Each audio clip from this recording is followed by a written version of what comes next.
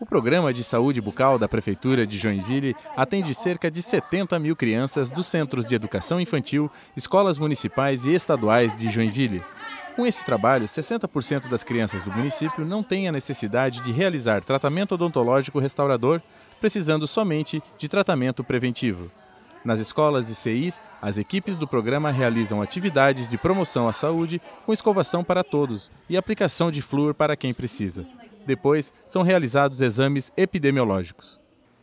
Professores da educação infantil, ensino fundamental, ensino médio e educação de jovens e adultos das redes municipal e estadual de ensino de Joinville participaram nesta semana do terceiro Seminário Municipal de Educação para a Promoção da Igualdade Racial. O evento, organizado pela Prefeitura, foi realizado no Teatro Juarez Machado.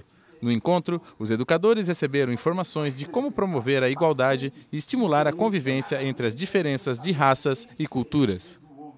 O prefeito de Joinville, Udo Deller, esteve essa semana em Brasília, onde se reuniu com o secretário nacional da Defesa Civil, com o ministro da Saúde e representantes do Tesouro Nacional. Nas reuniões, foram solicitadas a liberação de recursos para projetos de macrodrenagem e também mais investimentos na saúde.